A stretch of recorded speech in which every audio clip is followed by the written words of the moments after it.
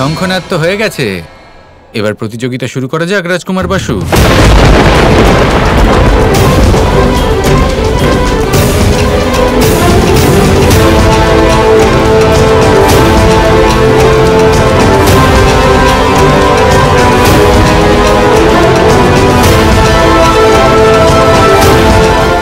আমার বিশ্বাস ছিল শ্রীনিবাস যে তুমি অবশ্যই আসবে।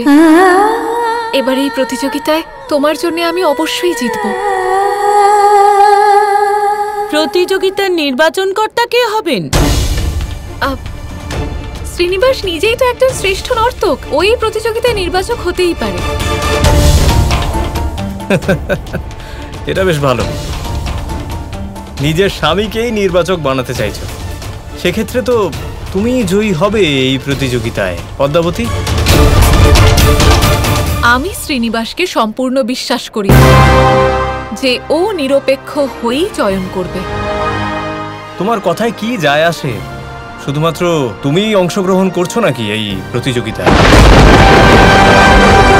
কুমার বাসু রাজকুমারী উচিত কথা বলেছেন। আমারও পূর্ণ বিশ্বাস যে শ্রীনিবাস নিরপেক্ষ হয়েই সিদ্ধান্ত নেবে।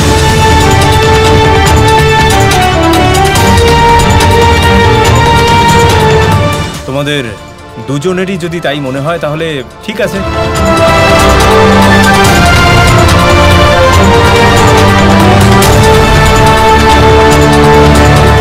এবার সব কিছু যেন আমার পরিকল্পনা অনুযায়ী হয় ভালো পদ্মাবতী যেন পরাজিত হয় এবং ভার্গবী বিজয়ী। না হলে শ্রীনিবাস কিছুতেই ভার্গবীর সাথে আমার বিবাহ সম্পন্ন হতে দেবে না। আপনি চিন্তা করবেন না কুমার। ভার্গবী নিশ্চিত রূপে বিজয়ী হবে। ভার্গবী প্রথমে তুমি নৃত্য প্রস্তুত করো। না কুমার আমি করতে পারব না। আমি ভেঙ্কটেশের অপেক্ষা করছি। ওর জন্য আমার মনে এত আত্মবিশ্বাস জেগেছে। ও আমায় কত সাহায্য করেছে। ওরও তো নৃত্য প্রতিযোগিতা দেখার সুযোগ পাওয়া উচিত তাই না? শ্রীনিবাস ভেঙ্কটেশ কোথায়? যে বিষয়টা নিয়ে ভয় পাচ্ছিলাম সেটাই হলো। এবার ধরা পড়ে যাব। তুমি কিছু বললে ভারচা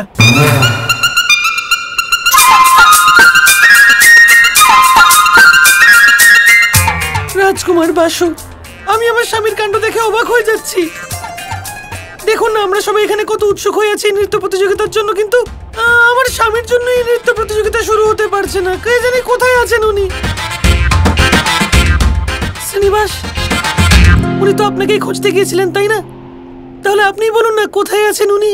আসলে বিষয়টা হয়েছে যে ভেঙ্কটেশ আমাকে ডাকতে এসেছিলেন কিন্তু গোবিন্দরাজের শরীর হঠাৎ খারাপ হয়ে গেল। তাই ওনার যত্ন করার জন্য কাউকে তো ওখানে থাকতে হতো আর আমাকে তো এখানে আসতে হতো। তাই ভেঙ্কটেশ ওখানে গোবিন্দরাজের কাছেই রয়েছেন। ওনারা দুজন কেউ আসতে পারবেন না তাই আমার মনে হয় যে এটাই উচিত হবে যে আমরা এই প্রতিযোগিতা শুরু করে দিই। ঠিক আছে। প্রতিযোগিতা শুরু করা যাক। হে নটরাজ আমায় আশীর্বাদ দিন। আমি যেন আমার নৃত্য শুদ্ধ রূপে প্রস্তুত করতে পারি যা শ্রীনিবাস আমায় শিখিয়েছে।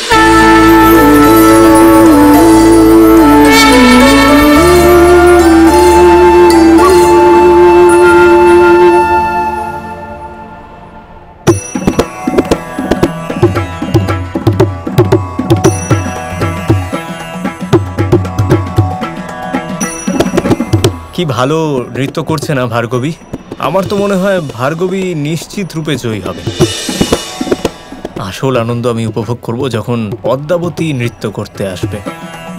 আজ পদ্মাবতী যে বস্ত্র ধারণ করে নৃত্য প্রস্তুত করতে চলেছে, তাতে সূক্ষ্ম কিছু কাঁটা লাগিয়ে দেব আমি। কিছু একটা করো, শ্রী। রাজকুমারী পদ্মাবতীকে রক্ষা করো। এই বাসু ছলনা করেছে ওনার সাথে।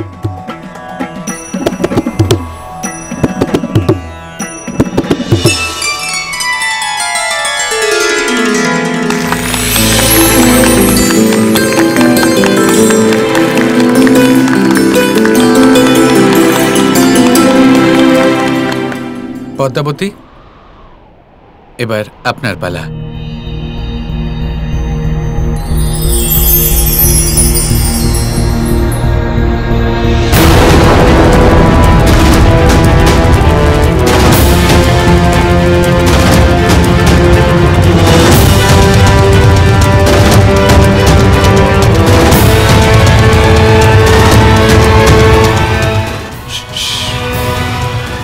দেখতে দাও আমাকে। কুমার বাসু পদ্মাবতী সেই বস্ত্র পরিধান করেননি যেটা আমরা ওর জন্য পাঠিয়েছিলাম। এটা তো অন্য কোনো একটা বস্ত্র।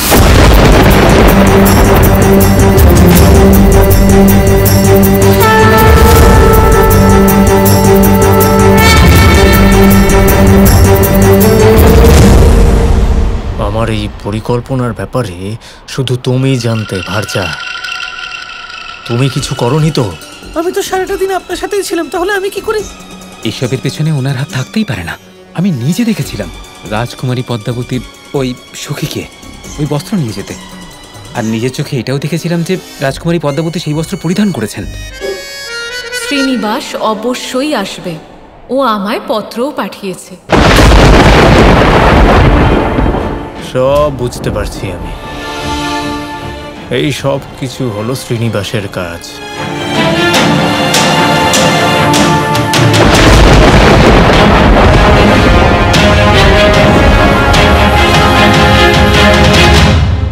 tát tát tát tin tát tát tin tát tát tin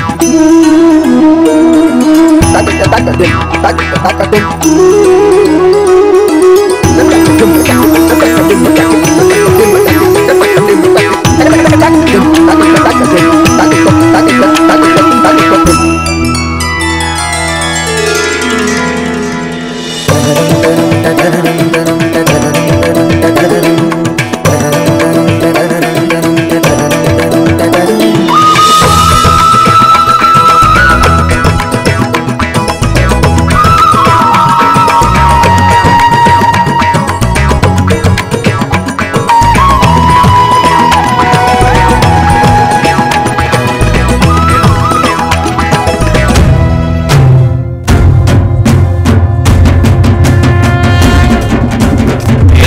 শ্রেষ্ঠ প্রেমে জগতে প্রেম সামান্য নয় কোন পূজা। প্রেম স্বরূপ যে, প্রেম শ্রেষ্ঠ পূজা। প্রেম শ্রেষ্ঠ পূজা।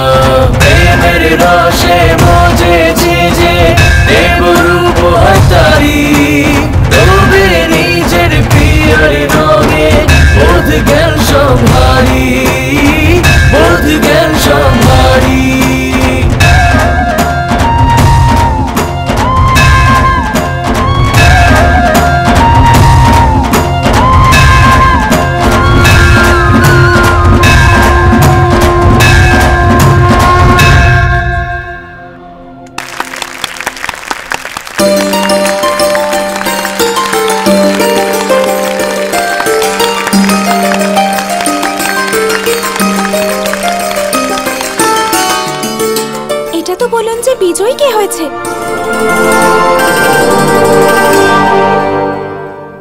প্রথমে আমি আপনাদের সবাইকে এটা বলতে চাই যে নৃত্য আসলে কি? নৃত্য শুধুমাত্র নিখুঁত মুদ্রাভাস নয়, নৃত্য হলো আনন্দ, নৃত্য হলো প্রার্থনা, নৃত্য হলো আবেগের মিশ্রণ। আর যখনই কোনো ব্যক্তি নিজের মনের কথা শোনেন আর তারপর নৃত্য প্রস্তুত করেন, তখন আর সেটা শুধু নৃত্য থাকে না, তখন সেই নৃত্য প্রেমের রূপ নিয়ে নেয়। সাক্ষাৎ নটরাজের মতো। যখন উনি নৃত্য করেন, তখন কি হয়? ওনার নৃত্য নাদে এই সমগ্র সংসার মাতোয়ারা হয়ে ওঠে।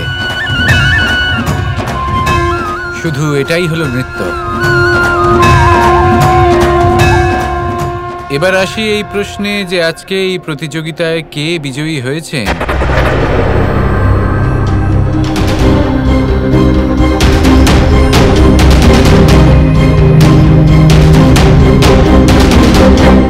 তাহলে তার উত্তর হলো,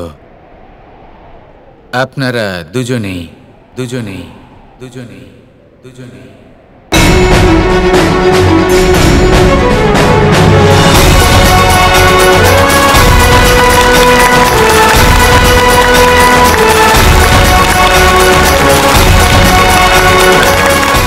আমি এটা বোঝাতে পারব না আমার কতটা আনন্দ হচ্ছে। আপনারা দুজনেই সমান স্থানে, দুজনেই শ্রেষ্ঠ নৃত্য প্রদর্শন করেছেন। দুজনের মধ্যেই আমি সাক্ষাৎ নটরাজের প্রতিচ্ছবি দেখতে পেয়েছি। আজ নটরাজকে সাক্ষী করে আমি বলছি, নিরপেক্ষভাবে আমি এটা বলছি যে আজ আপনারা দুজনেই বিজয়ী। শুধু যাদের মন কলঙ্কিত তারা এটা বিশ্বাস করতে চাইবে না।